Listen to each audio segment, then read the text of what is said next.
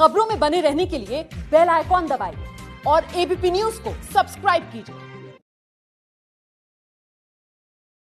आशुतोष मुगालिब का शेर जो आज प्रधानमंत्री नरेंद्र मोदी की तरफ़ से पढ़ा गया कि साहब ताउम्र यही गलती करता रहा, धूल चेहरे पर थी, आईना साफ़ करता रहा। मतलब आज आईना दिखा दिया प्रधानमंत्री नरेंद्र मोदी ने कांग्रेस पार्टी को, जो बहुत ज़रूरी था देश हित में।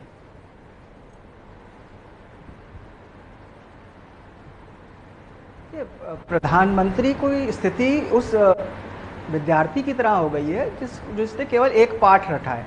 और किसी भी विषय की परीक्षा हो, जाके वही पाठ जो है वो दोहरा देता है। चाहे लोकसभा हो, चाहे राज्यसभा हो धन्यवाद प्रस्ताव था राष्ट्रपति के लिए। और इन्होंने जो है धन्यवाद दे डाला विपक्ष को कि भाई, कांग्रेसी, आपने इतनी गलतियाँ करी हैं, जिसकी वजह से हम बार बार चुनाव जीत रहे हैं। वरना जो है भाजपा के पास कोई सकारात्मक एजेंडा तो है नहीं जिसपे लोग उसको वोट दें। और ये कहना कि जो है पिछले सत्तर साल में कुछ हुआ ही नहीं तो बात आज भारत नया भारत आपसे ये अपेक्षा करता है कि आप क्या करने वाले हैं। उसको पिछले जो जिसने गलती करी उसको तो सजा मिल गई। हम्म। अब भारत ये देखना चाहता है कि आपने क्या जो है आपकी विजन क्या है आपका रोड मैप क्या है लेकिन वो बात कभी होती नहीं है बल्कि और सबसे आश्चर्यजनक बात थी जब उन्होंने कहा कि राज्यसभा लोकसभा को आगे बढ़ने से रोकती है। तो ठीक है सर एक, एक मिनट हो गया। है जो कि एक इतने बड़े मदमस्त हाथी को एक एक मिनट हो गया है एक मिनट हो गया है। मैं दोबारा आऊँगी जब बहस खोलूँगी आपके पास। मैं संगीत रागी जी का रुख करती हूँ। संगीत रागी जी जो बात यहाँ पर आशुतोष भी कह रहे थे कि भाई धन्यवाद विपक्ष को दे रहे थे ठीक है? मतलब ये विपक्ष सूट करता है ना? फिर जब ऐसा विपक्ष सूट करता है तो उसे नसीहतें क्यों? एक मिनट। देखिए कांग्रेस पार्टी और सारा विपक्ष जो है वो भारतीय जनता पार्टी के बारे में बराबर ये कहते आ रही है चुनाव जीतने के पश्चात कि आपने चुनाव जीता है हम्म। लेकिन देश दे, देश देश का जो मैंडेट है वो हम लोगों के साथ है। शायद ये मैंडेट साफ़ नहीं है। प्रधानमंत्री जी उनको बता रहे हैं कि देखिए आपकी अपनी गलतियाँ हैं।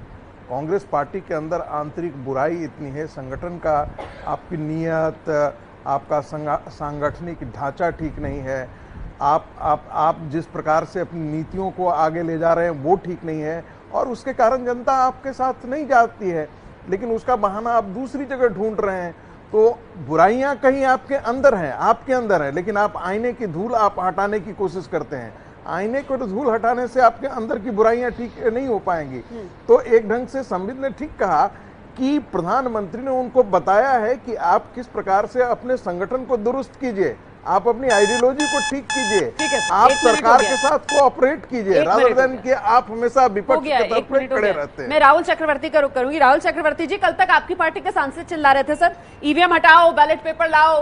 प्रधानमंत्री नरेंद्र मोदी ने आज कह दिया कि हार के लिए बहाना ढूंढ रहे हैं और ठीकरा फोड़ रहे हैं ईवीएम पर। अपनी गलती स्वीकार नहीं कर रहे हैं। अब बंद कर देंगे ना ये ईवीएम का राग आप लोग?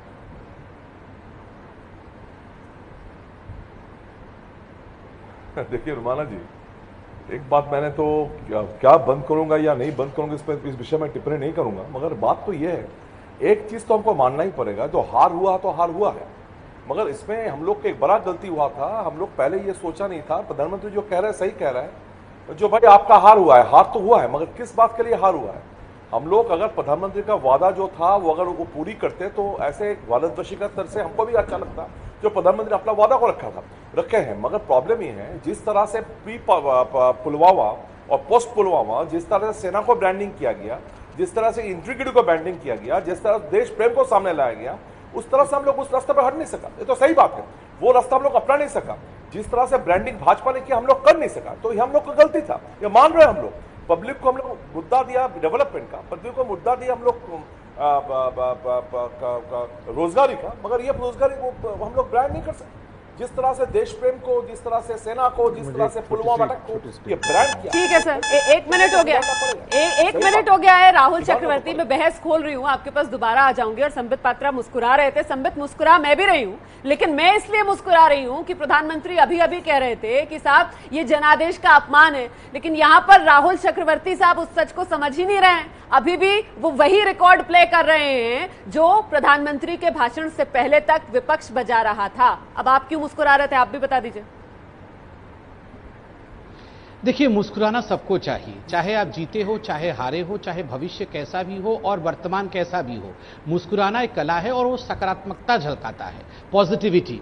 और देखिए, आज ये जो युद्ध हुआ है 2019 का लोकतांत्रिक युद्ध, ये सकारात्मकता वर्सेस नकारात्मकता के बीच में है। आप देखिए, सारी चीज़ सकारात्मक रही भारतीय जनता पार्टी के साथ। और मैं हाथ जोड़ के राहुल जी से कहूँगा, राहुल जी, केवल एक पक्ष को देख के जनता जनार्दन वोट नहीं करती है। वो गैस सिलेंडर भी देखती है, वो सड़क भी देखती है, वो रेलवे स्टेशन में टिकट बनने की प्रक्रिया भी देखती है, कुछ लोग पासपोर्ट की प्रक्रिया को भी देखते हैं। बहुत सारी चीज़ों को देखकर जनता जनार्दन हाँ पुलवामा के बाद भारत के स्टैंड को भी देखती है, नेशनल सिक्योरिटी को भी देखती है। इन सारे विषयों को समग्रता से समझने के बाद, बूझने के बाद वो विश्वास करती है अपने नेता के ऊपर और ये होता है सकारात्मकता की जीत। और वहीं एक और नकारात्मकता देखिए कहीं भी पूरे ऑपोजिशन पार्टीज़ ने कहीं भी एक भी सकारात्मक कदम नहीं उठाया।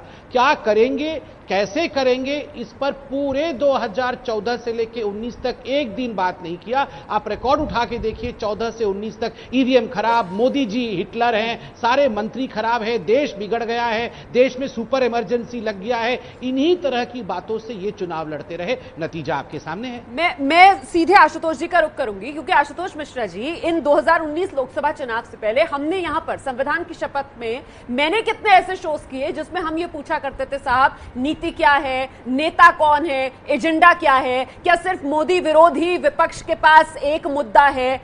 जवाब क्या होता था? चुनाव में फैसला हो जाएगा, चुनाव में फैसला हो जाएगा। चुनाव हो गए, सर, फैसला हो गया।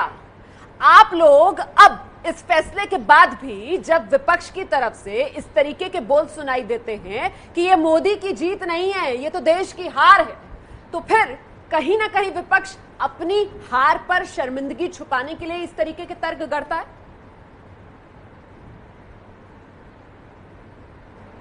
देखिए, अभी जो श्री चक्रवर्ती ने कहा और जो डॉक्टर पात्रा ने कहा, दोनों बात पर आप ध्यान दीजिए। डॉक्टर पात्रा एक ऐसे राज्य से आए हैं जहाँ की राज्य के चुनाव में भाजपा हार गई और बीजेडी जीती है। उसकी वजह क्या है कि वहाँ पे लोगों ने सबका साथ सबका विकास नहीं देखा। उनको लगा कि नवीन बाबू ज़्यादा जो है सबका साथ सबका विकास कर रहे हैं। और नेशनल लेवल पे जो चक, चक्रवर्ती साहब कह रहे थे एक ये हवा बनाया गया। एक हवा बनाया गया कि देश खतरे में है और जो है घर में घुस के मारा है तो वहाँ पे, और उसके बाद प्रज्ञा सिंह ठाकुर तक को ये लोग ले आए, जो कि गोट से भक्त हैं, जिनके खिलाफ आज तक कोई जो है एक्शन नहीं लिया गया। तो ये जो है चुनावी मुद्दे राष्ट्रीय स्तर पे किस तरह से भटकाए गए, ये उसका एकदम सीधा उदाहरण उड़ीसा जहाँ पे जो है आशुतोष जी आशुतोष जी आशुतोष जी आशुतोष जी आपकी तर्क से जाऊँ आशुतोष जी आपके तर्क से अगर जाऊँ तो सीधा उदाहरण तो आप अपनी बात में ही इस बात को लेकर दे रहे हैं किस तरीके से विपक्ष की तरफ़ से ईवीएम का बहाना गढ़ा गया। क्योंकि आपने ओडिशा की जीत यहाँ पर गिना दी वो भी तो ईवीएम से ही हुई है सर। बीजेपी हारी उड़ीसा में राज्य के अंदर वो ईवीएम से है ठीक है ना सर? एक मिनट एक मिनट संबित पात्रा यहाँ पर जवाब भी देना चाह रहे हैं उसके बाद में लौटूँगी आपके पास सर। आइए संबित। जो देखिए, आशुतोष जी ने प्रश्न भी किया है और उसका उत्तर भी स्वयं दे दिया। बिल्कुल सही बात है। वहाँ पर उड़ीसा मेरे राज्य में, वहाँ बीजू जनता दल की राज्य के सरकार में जीत हुई है। असेंबली में जीत हुई है। मगर एक दिन भी आप दिखा दीजिए कोई बयानबाजी जिसमें भारतीय जनता पार्टी के किसी भी कार्यकर्ता ने कहा हो कि ईवीएम के कारण से हम हार गए हैं किसी भी एक कार्यकर्ता ने कहा हो कि हम इसलिए हारे हैं क्योंकि वहाँ प्रशासन जो है वो भारतीय जनता पार्टी को हरा रही थी इलेक्शन कमीशन मिला हुआ था। बिल्कुल नहीं।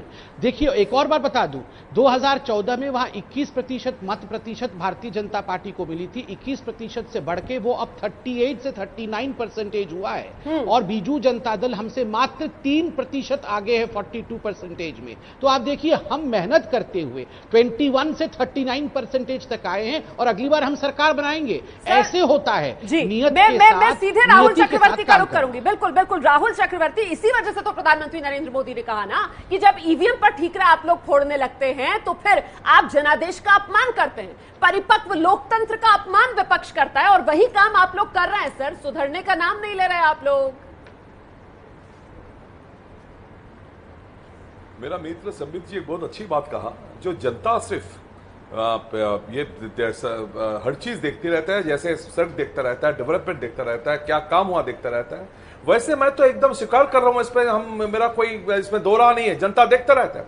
मगर जिस चीज़ देखना चाहिए था, ये द्रोह को रोजगारी देखना चाहिए था, जिस तरह से पंद्रह लाख रुपया वापस आने की बात थी, वो देखना चाहिए था। जिस तरह, जिस जीएसटी का असर क्या हुआ देश में, वो देखना चाहिए था। जिस तरह से बेरोजगारी का बारे में देखना चाहिए था, वो देखा नहीं सके हम लोग। ये हम लोग का गलती है, ये हम लोग का फॉल्ट है, मैं मान रहा हूँ। उससे ज़्यादा हो गया देश प्रेम उससे ज़्यादा हो गया पुलवामा उससे ज़्यादा हो गया सेना का ब्रांडिंग ज़्यादा किया वो लोग। हम लोग को इसमें कोई दुरा नहीं है। हम लोग दिखा नहीं सके। ये दिखाने का जो काम था हम लोग कर नहीं सके। और बात में जो सबका साथ सबका विकास और सबका विश्वास वो तो विश्वास देख रहे रुमाना जी ना जब जय श्री राम नहीं कहने से उसको मार गिराया जा रहा है। आज जब पूरा देश तो में देख रहे विश्वास का नतीजा क्या आज तो शिकायत दूर हो गई होगी। आज तो नहीं लिंचिंग बोलने पर भी प्रधानमंत्री नरेंद्र मोदी ने दिल खोलकर बात रख दी राज्यसभा में। आज तो शिकायत दूर हो गई होगी कम से कम उसकी तारीफ़ तो कर देते। रुमाना जी आप उसकी तारीफ़ तो कर हैं देते सर। सर हिंसा हिंसा की घटनाओं में जिस तरीके से धार्मिक एंगल खोजा जाता है उसकी निंदा भी की प्रधानमंत्री नरेंद्र मोदी ने? वहाँ पर भी आप लोगों को आईना दिखाया। अब अब जरा सा जरा सा संबित पात्रा जवाब दे दें फिर मैं आ रही हूँ डॉक्टर आगे आपके पास। बेकसूर लड़का को सत्रह साल का बच्चा को सिर्फ़ जय श्री राम नहीं कहने से उसको मार गिरा दिया रहा। एक क्या एक, क्या सर, कोई सर आप ही की सरकार है बंगाल में। अगर अगर बंगाल का ज़िक्र कर रहे हैं तो आपकी सरकार है सर ममता बनर्जी से कहिए जरा ध्यान दें कानून व्यवस्था पर।